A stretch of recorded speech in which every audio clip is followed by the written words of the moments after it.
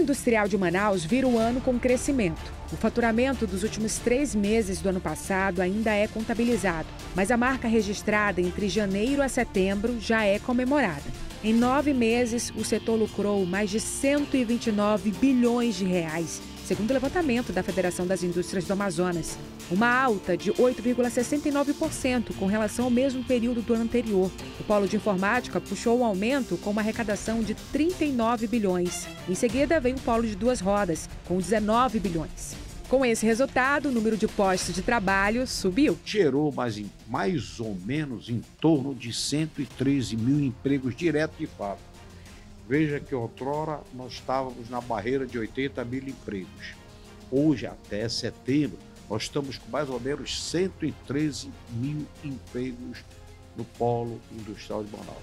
Tivemos a reunião do CODAN e depois tivemos a reunião do CAIS. Vários projetos novos de implantação, fora o projeto de modernização Quer dizer que o nosso polo continua sendo atrativo. O balanço, ainda que parcial, vem como um alívio para os donos de fábricas em Manaus que sentiram um baque com decretos do governo Bolsonaro que reduziram o imposto sobre produtos industrializados para companhias de outras regiões do país. Medidas que ameaçavam diretamente as vantagens do modelo no mercado nacional. Uma comitiva liderada pelo governador do Amazonas, representantes de classe e deputados em Brasília, pediu várias vezes a retirada dos produtos da Zona Franca da lista. Foi uma articulação que começou em março e só terminou em agosto, depois do Ministério da Economia ceder e excluir mais de 90% dos fabricados da Zona Franca. Mas a preocupação não diminui com o novo presidente eleito. Embora Lula, com o histórico de defensor da indústria, tenha prometido preservar o modelo Zona Franca em campanha, o vice-presidente Tucano pode ser um grande opositor.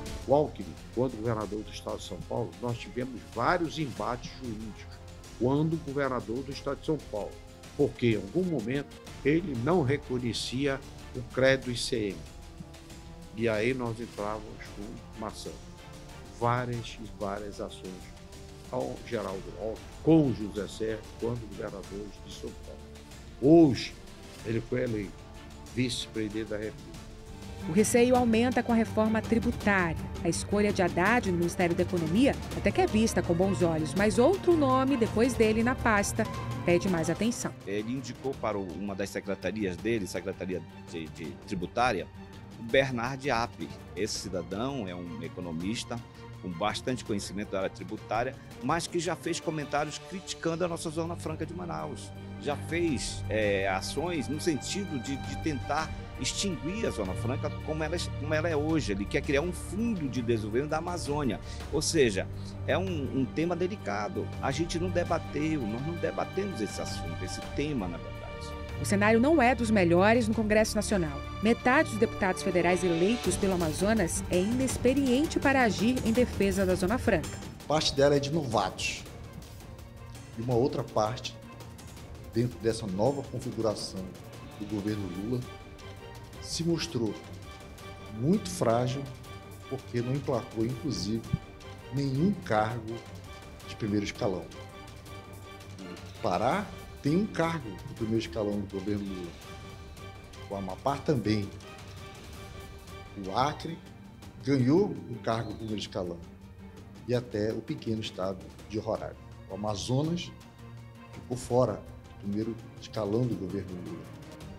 Então, a Zona Franca de Manaus deve ser, sim, a prioridade, junto com a BR-319, junto com as fronteiras, defesa das fronteiras do Amazonas, junto de uma política mineral para a região e, acima de tudo, para conseguir tudo isso é preciso de uma unidade do governador, da classe empresarial e da classe política. De olho nas decisões de Brasília, resta esperar também pela nomeação do novo superintendente da Suframa, que pode ou não fortalecer o modelo. Nós esperamos que o futuro superintendente da, da Zona Franca também seja alguém do meio. Acredito que aqui na nossa região nós temos diversas pessoas capacitadas para isso.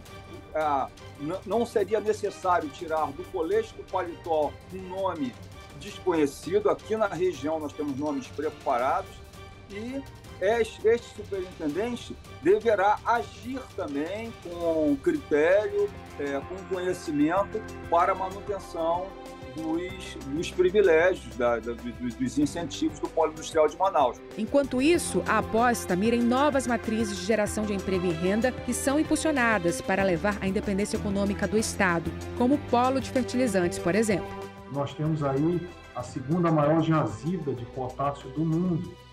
E o país é o terceiro maior consumidor de potássio do mundo para uso agrícola.